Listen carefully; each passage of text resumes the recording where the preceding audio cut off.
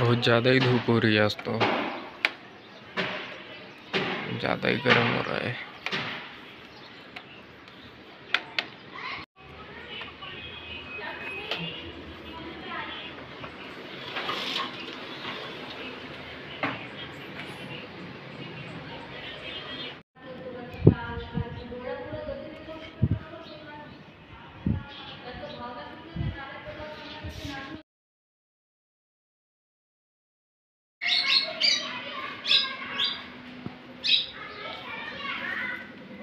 Thank you.